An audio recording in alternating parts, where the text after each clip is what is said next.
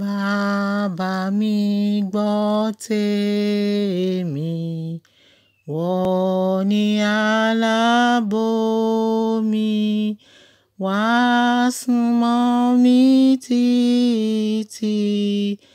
Ọba ológo jùlọ, mímọ́, mímọ́, mímọ́, wọ́n ń gbé nínú.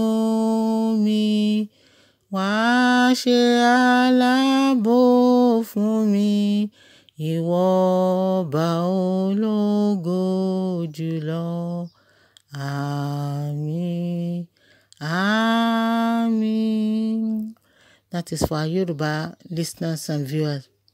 For the non-Yorubas, soul of my Savior, sanctify my breath.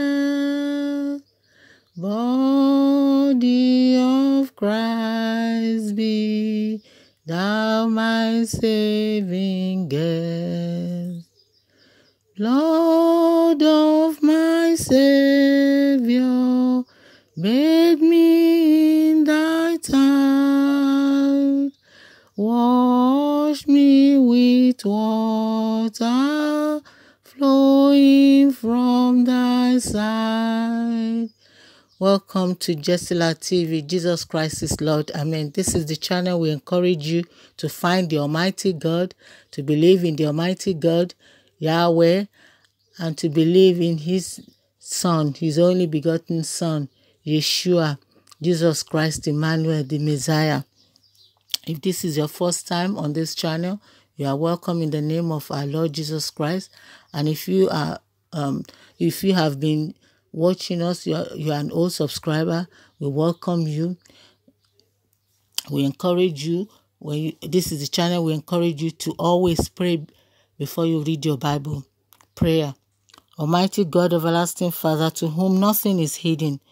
Jesus Christ, Emmanuel, Yeshua, the Messiah, thou art our Lord and personal Savior.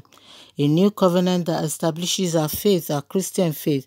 Holy Spirit, Spirit of God, we come before your throne, Almighty God, this morning, Yahweh.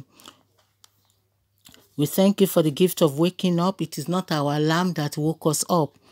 Lord, we beseech you to forgive our sins. We beseech you to direct our day today.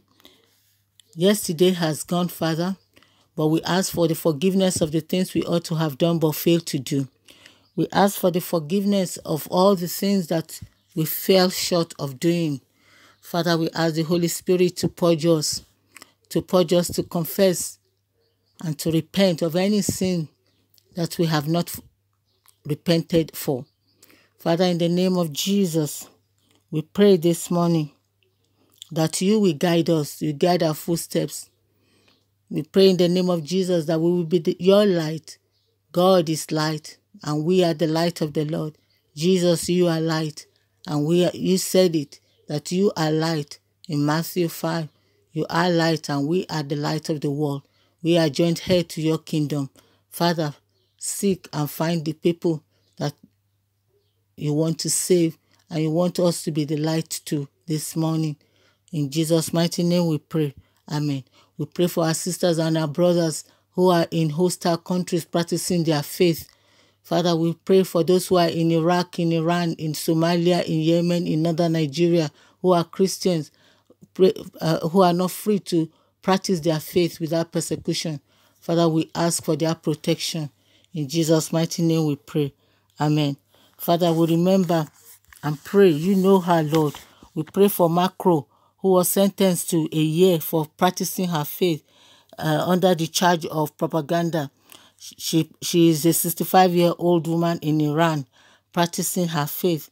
Father, we, uh, she has been sentenced to one year and she is allowed to appeal. Father, we pray this morning because you know her and you know all this, all everyone. You are the maker of heaven and earth and all that is in it, including the judge, Father. We pray, Lord, that her appeal will be successful.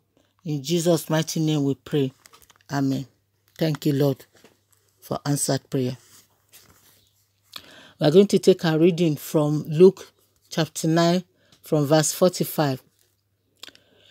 But they did not understand this statement. It was concealed from them so that they could not grasp it, and they were afraid to ask him. Yesterday, we read that Jesus told the disciples that he was going to be betrayed into the hands of men, and they didn't grasp it. I want to encourage us that sometimes when the Holy Spirit speaks to us, we don't understand.